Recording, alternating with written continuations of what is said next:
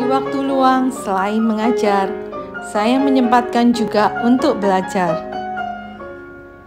Belajar dan berkembang adalah kunci keberhasilan dalam bidang apa pun, termasuk bidang musik.